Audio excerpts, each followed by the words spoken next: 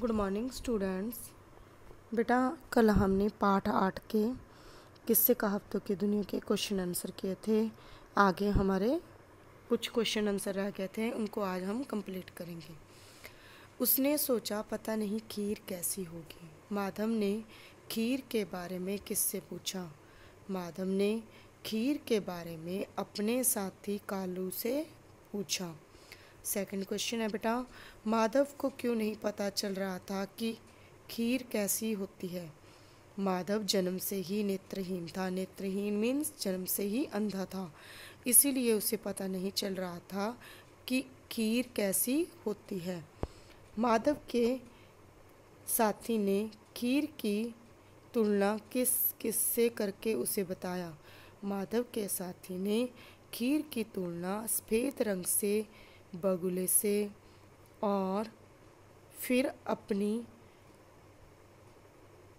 हाथ से उसे करके बताया। फिर उसने अपने हाथ से उसे उसे करके बताया।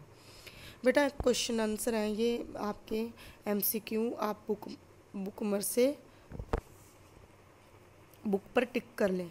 उचित उत्तर पर सही का निशान लगाएँ। राजमहल में चोरी होने से कौन परेशान हो गया? राजा।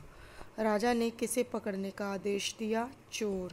एक दिन गाँव में किसके घर पर भोज था? मुखिया के घर पर।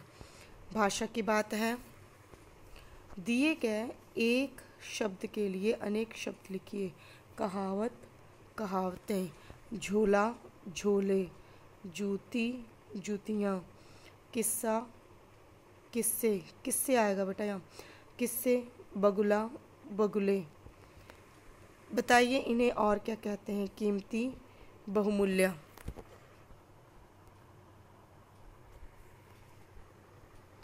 चस्का, आदत, पोखर, तालाब।